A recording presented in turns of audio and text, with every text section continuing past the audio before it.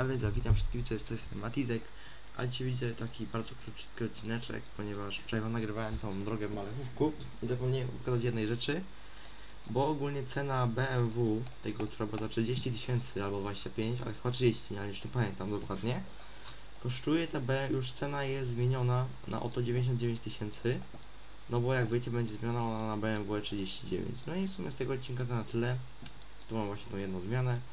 No i z tego odcinka to na tyle, jak mówiłem, jeszcze, że to Matizek, cześć.